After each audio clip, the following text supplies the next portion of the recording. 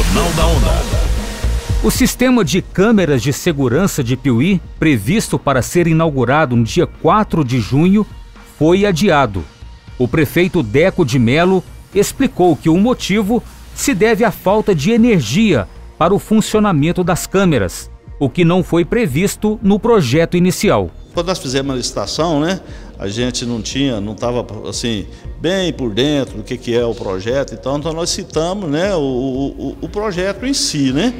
E depois deparamos com várias outras situações, né? Esse aditivo no contrato, que foi para agosto, a, a, licitação né, com relação ao, aos medidores da CEMIG e uns canos, né, que é um cano galvanizado, que a gente não tinha isso licitado e nem foi previsto na licitação do monitoramento. Então, já publicamos o edital, o edital tem aí um prazo né, para um prazo de, de, de, validade, então isso aí vai demorar uns 30 dias, mais a instalação, né?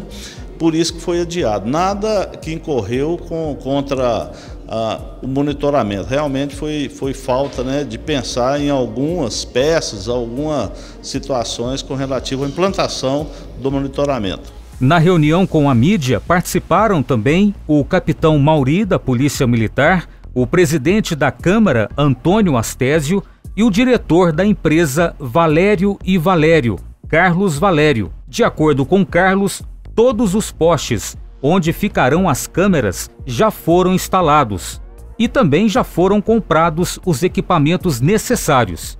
Ele justificou a necessidade de energia elétrica para o funcionamento das câmeras. Então, é, ativação da energia, basicamente isso, que os trâmites, as outras fases, praticamente está concluído, que é a fixação dos postes, mas como a gente já conhece a CEMIG, ela é exigente e exigiu dentro de umas normas e essas normas o material a gente não tinha em Piuí, como foi citado anteriormente, e ter que fazer licitação e pedir o prorrogamento da, do prazo exatamente por causa disso. Unicamente por causa disso.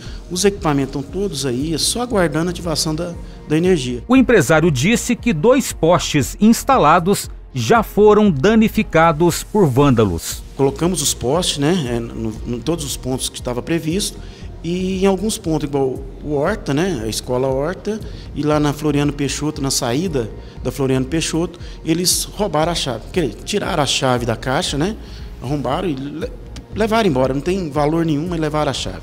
Então é um transtorno a mais para a gente, é um vandalismo que a gente não esperava. O presidente da Câmara de Vereadores, Antônio Astésio, lembrou que a implantação do sistema de segurança será paga com dinheiro devolvido da Câmara de Vereadores para a Prefeitura. Isso. A Câmara vai estar devolvendo dinheiro, que o dinheiro é da Prefeitura, né, mas a Câmara vai devolver para cobrir a despesa, né?